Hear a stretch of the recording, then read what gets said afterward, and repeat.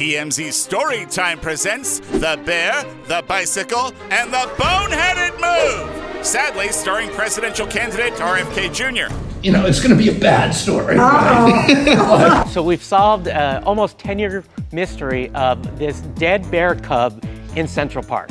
which was found next to a bicycle. RFK is now copping to the incident because he found out the New Yorker was about to do a story about it. So he was driving in New York uh, after a day of falconing, which is the best part of it all.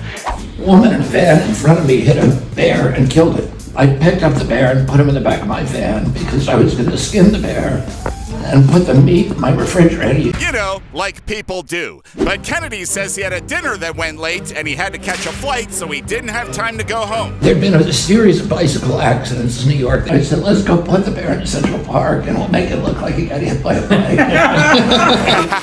You know who else found it funny? Well, not the police or the media. Curious visitors to the park watched as police roped off the area where the bear was discovered. It's just weird. It's so weird. Yeah, that labels off you boys for a couple of news cycles. This hurts him politically, right? Oh, definitely. Does anything matter anyway?